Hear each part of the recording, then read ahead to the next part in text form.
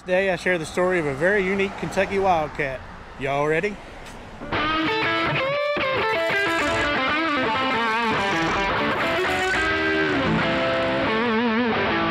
Cotton Nash, a UK basketball star and hero of the early 1960s, has died. Nash was 80 years old.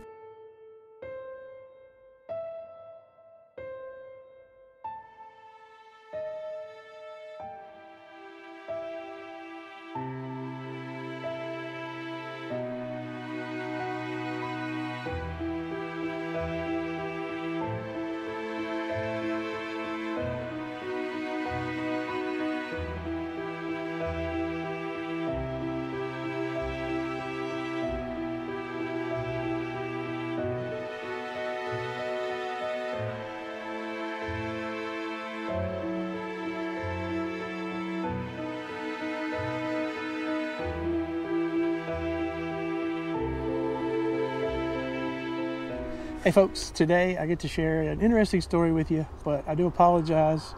Um, you got to look at me a lot in this video. Uh, number one, the individual doesn't have a tombstone just yet, doesn't have a headstone, uh, but we are going to go see that. Uh, but they're down the road from uh, where we're visiting is actually a burial happening, and I'm definitely not going to interrupt that. Got to respect that. We'll give them a, an hour or so to get out of here and and maybe we can uh, we can get over there and, and, just take a photo or so and get out of there. So I'm here today to talk about Charles Francis Cotton Nash. Um, he was born on July the 24th, 1942, and he left us on May the 23rd, 2023. He was born in Jersey City, New Jersey, um, but around 11 the family moved to Jeffersonville, Indiana, which is just across the river here in, in Kentucky, from Kentucky, from Louisville. Um, Eventually, the family made their way to Orange, Texas. Uh, his dad's job moved him down there. Uh, they wound up settling in Lake Charles, Louisiana, uh, which is about a 30 minute drive from Orange, Texas.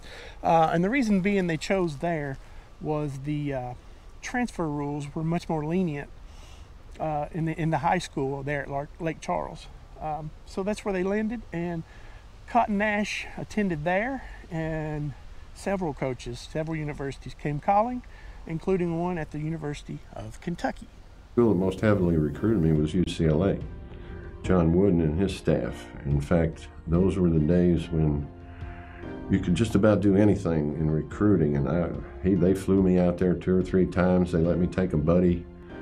Uh, gorgeous place, gorgeous campus, and uh, called me on the phone every night.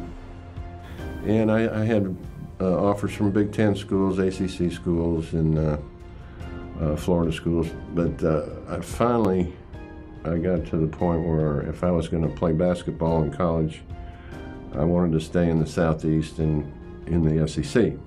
And if you were a basketball player at that time, you really should go to UK. so that's how I ended up here. During his stay at UK, he was named to the All SEC team three separate times. Now, there probably would have been a fourth, but in those days, freshmen were not allowed to play on the varsity basketball team. So that kind of knocked him out of that. It also affected him when he became a three time All American. Uh, possibly could have been a fourth. Uh, he was two two times, let's. Yeah, he was an All American for three seasons. The first two seasons, he was named to the second team, while his senior year, he was a consensus first team All American. So that's pretty awesome. During his time at UK, um, Cotton Nash averaged 22.7 points per game, 12.3 rebounds per game, and 1.8 assists per game.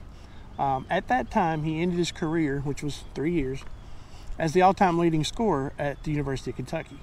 Today, there's been eight others past him, so he's number nine on the list these days. Uh, but his career total was 1,770 total points in three seasons. It's pretty doggone good. Nash is also number five on the all-time uh, career rebounding list with 962. Um, two separate times he gathered 30 rebounds in a single game, and uh, that is a big part, in my opinion, of why number 44 hangs in the rafters at Rupp Arena for Mr. Cotton Nash. After his time at UK, um, Nash was drafted 12th so the first pick in the second round of the NBA draft, and he was picked by the Los Angeles Lakers. Now, his pro career definitely didn't mirror his college career. Um, as an NBA player, Cotton averaged just 5.6 points per game with 4.9 rebounds per game and 0.8 assists per game. Thankfully for Cotton, though, basketball wasn't his only sport. See, at UK, Cotton actually played baseball as well. And that led him to actually being drafted by one of my favorite teams, the Los Angeles Angels. Now, the Angels didn't get him to the majors. He was traded with some cash to the Chicago White Sox for Bill Moose Skowron, who was a big bopper at the time. And uh, it was there, September 1st, 1967, that Cotton Nash made his Major League Baseball debut with the Chicago White Sox. Now, I wish I could say, wow, what a, an amazing career that Cotton actually had in the Major League Baseball. But unfortunately, that didn't really pan out for him very well either. Um, over the years, he only got 16 total at bats. He did get three hits. Unfortunately, they were all singles, which led him to a very dismal 188 batting average. You ain't gonna get much playing time like that.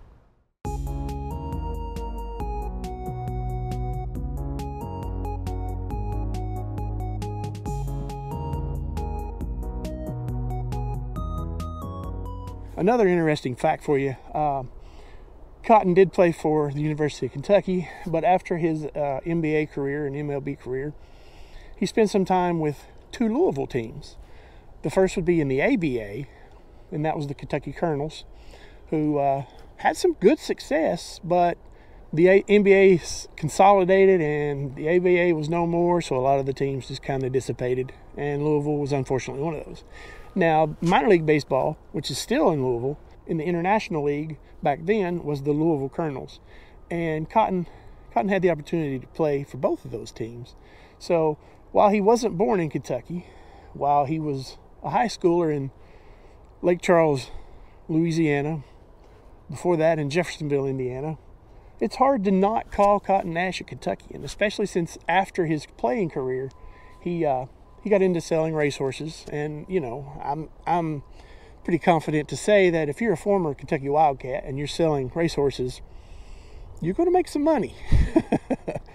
so while Cotton may not be the uh, the biggest name you've ever heard of, um, he he's a very important piece of Kentucky basketball history. The fact that uh, he was able to play his three years at the University of Kentucky for Coach Rupp. Um, that was probably and probably still would be one of the greatest accomplishments you could ever hope for as, a, as an athlete. I mean, at the time, it didn't get any bigger than Adolph Rupp, right?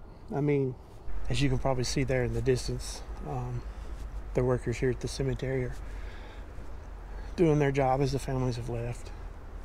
So I won't be long. I don't want to be rude. But here we find the graves of Cotton Nash's mother, father, and sister. Here you have Frank Nash, 1914 to 1986. His mother Nell, 1913 to 1979. And here you have his sister, Francine Marie Nash. She was born here March 12, 1946. She left us November 25th, 2018. Now, Cotton himself is right here at the foot of his father and mother's headstone. He doesn't have his headstone yet. There's the marker. So I'm assuming it's something very custom and probably beautiful. So maybe in the future we can get back here when he does have a stone and, and, take a look at that. So that's going to do it for today. Hopefully you enjoyed, learned a little bit about Cotton Nash and how he was the uh, former all-time leading scorer in University of Kentucky basketball history. Thought that was a pretty neat fact, and uh, it's also a great representation of how the game has changed, as well as the players that have come after. I would imagine the first person to break his record would have been Dan Issel, who was a, at UK somewhere around those times. I don't know if they overlapped or not. Uh, but then you had Jack Givens and the Goose, and you had Kenny Skywalker, you had Sam Bowie, you had Rex Chapman, you've had Jodie Meeks, you've had Tayshaun Prince, uh, Jamal Mashburn. I mean, you've had some amazing, amazing talent come through the Kentucky. And hopefully, with Coach Pope, we'll get some of those fellows to stick around, be proud of the jersey that they play in, and not just come here as a stepping stone to go to the NBA and make their millions.